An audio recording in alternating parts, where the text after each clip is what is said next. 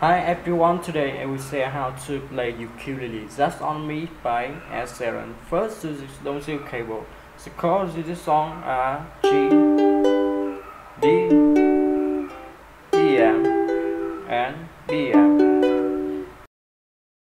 The first is play down, down, up, up, down, down, down, down, down, up, down, down, down, up, and play long. E M.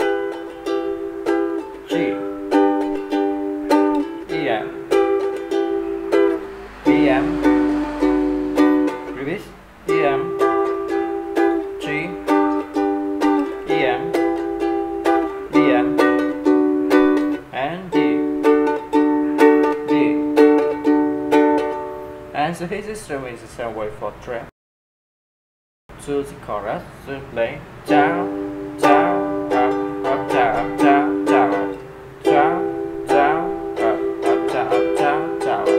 and play long G,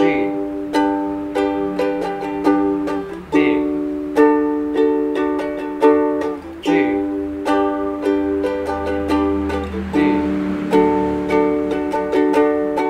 and the hit instrument is same way for thread to surprise to play. Down, down, down, down, down, down, and play long A am G and so his instrument is the same way for a thread. Thank you for watching and see you again. Bye bye.